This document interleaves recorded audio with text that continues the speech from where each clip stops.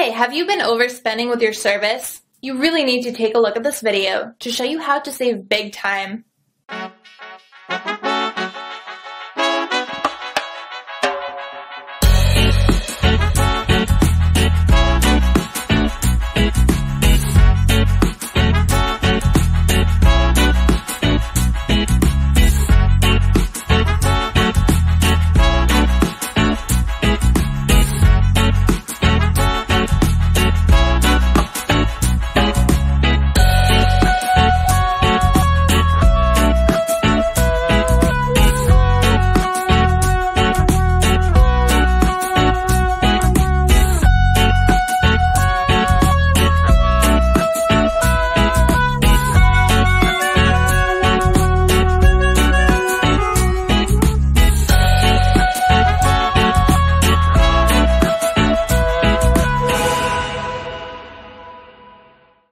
It's time to stop the bleeding and start saving money.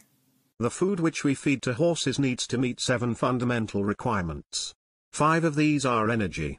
It needs to provide sufficient energy, calories, to meet the requirements of the horse. If the weather becomes colder or the horse is used more actively, the amount of food will need to be increased accordingly. Likewise, as winter turns into summer or if the horse is less active, the amount of food should be decreased. Minerals and vitamins. Aside from energy, horse feed needs to provide a variety of essential minerals and vitamins, in the required quantities. Bulk and high fiber.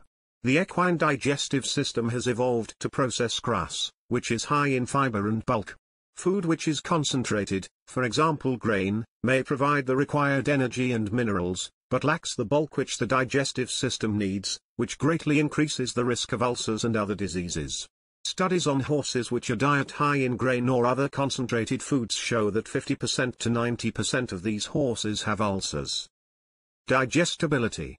Food which is poorly digested provides limited food value and can cause serious illnesses, for example impaction colic.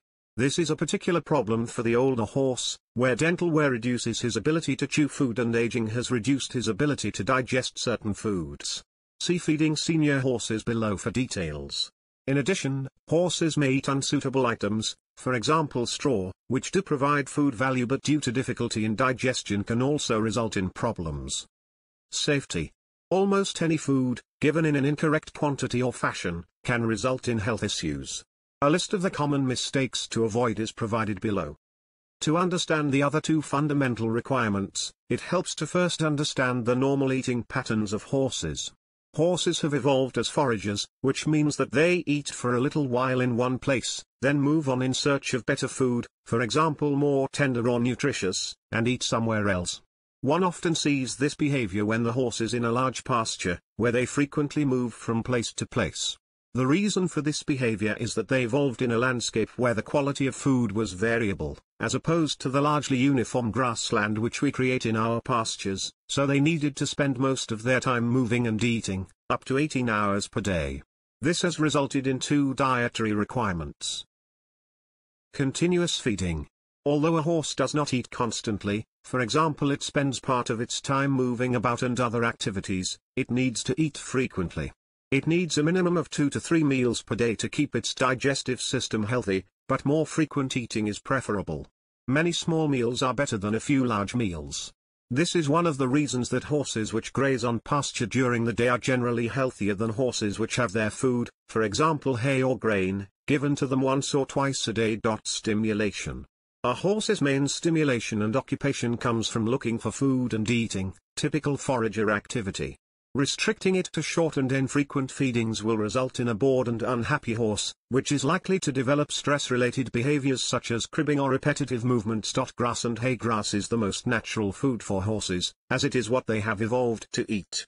In general, horses will tend to be healthier on a diet which consists mainly of grass than on any other type of food. Hay is the second most natural food, being rather close to the dried grass which they might find after a hot and dry summer, or dried winter grass. It is less nutritious than fresh grass but good quality hay is a useful alternative when there is not enough fresh grass.